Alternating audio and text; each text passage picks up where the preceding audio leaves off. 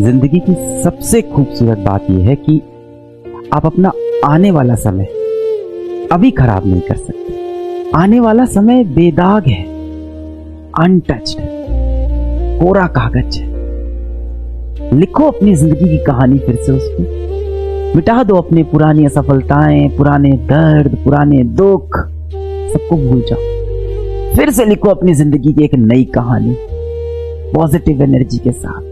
Positive attitude के साथ। नफरत ना करना हमसे हम सह नहीं पाएँगे। बस एक बार कह देना कि ज़रूरत नहीं तुम जैसे दोस्तों की।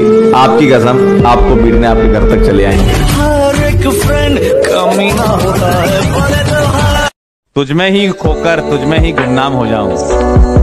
तुझ में ही खोकर तुझमें ही गुमनाम हो जाऊँ। तुम घाट बनारस की मैं गलियों का शाम हो जाऊँ।